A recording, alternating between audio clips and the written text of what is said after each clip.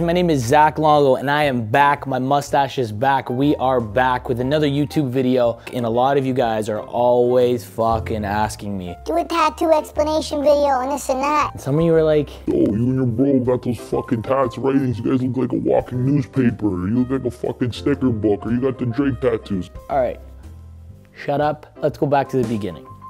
My first tattoo I got when I was like 16 years old.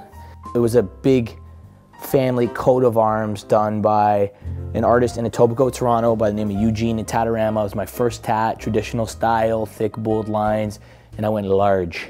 Tried to uh, hide that tattoo from my parents. I got booked the fucking same day I got it. After that, um, I didn't think I was gonna ever get any more tattoos. And then as I got older, I started getting, you know, a couple tattoos when I would travel. Like I went to Australia and Sydney, Australia. I got some script on my arm. Explore, dream, discover is like the fucking male version of uh, infinity symbol. Then I went back to LA and I live close to some, you know, pretty famous tattoo shops. And one of them I decided I wanted to get a fucking maple leaf outline. Got this shitty maple leaf outline. I still have it on my arm, which actually, when a conversation started for me all over the world when I'm traveling, people always like, oh, you're Canadian. I thought you were some douchebag from America. Turns out I'm just a douchebag from Canada. Those are my first few tats. Then I started, you know, Instagram became a thing and you, you could really spot talent. So I was like looking for better tattoo artists. And I really started to like that single needle, like Dr. Woo style that had became so popular from a guy named Mark Mahoney. Mark Mahoney owns Shamrock, famous tattoo shop on Sunset Boulevard. He did like David Beckham and all types of celebrities. Single needle or fine line is a tattoo style with like just one needle. Most tattoo guns are using like three and up, and that's where like darker lines come in. But with single needle, it's just one thin needle so the detail is sharp and it can be really small or really big. But it's a very specific style. It's definitely become more popular over the years, and that's you know, for me, I always wanted tattoos, but I could never pick one image to fucking blast on like my on my arm.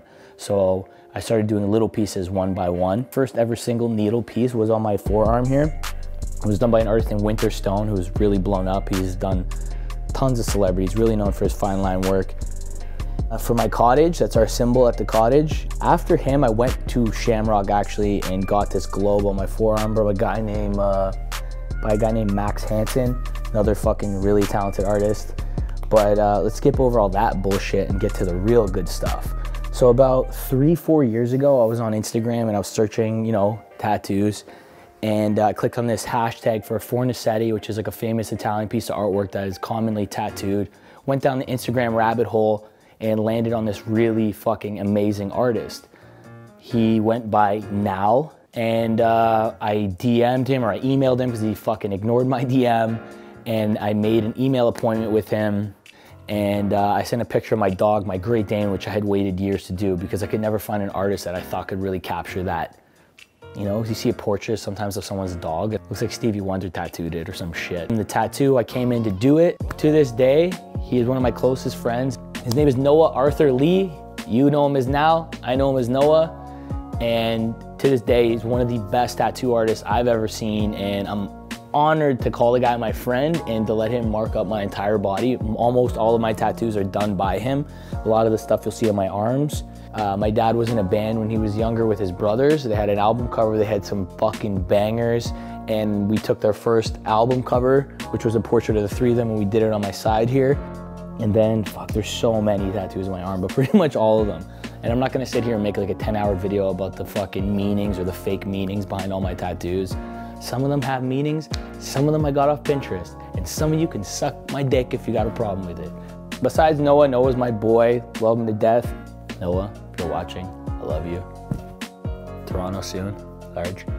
The same day I met Noah, I met one of you know his closest friends who's become a close friend of mine, Kalik, aka Leak from the Wood. Leak started tattooing a few years ago.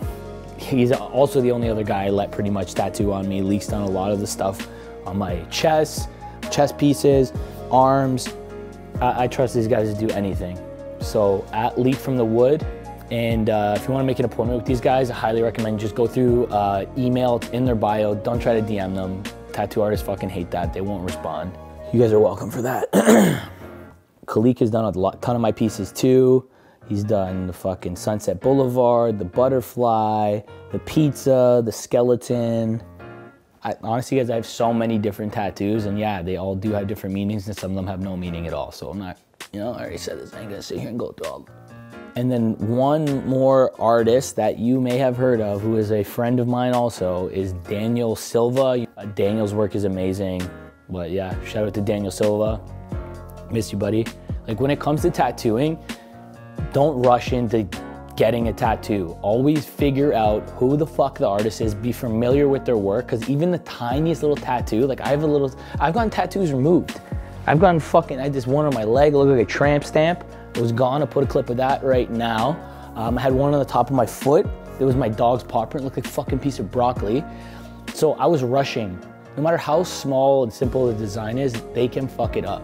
They can go too hard on your skin, they can scar it, it could be blown out, it could be warped. So in this day and age, there's a lot of talented tattoo artists out there and uh, just do your research. Don't put a bumper sticker on a Ferrari. I'm a Prius.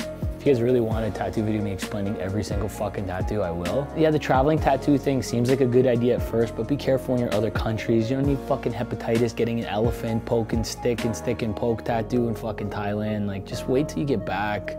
Find an artist, let them do all the work. It's on you for the rest of your life.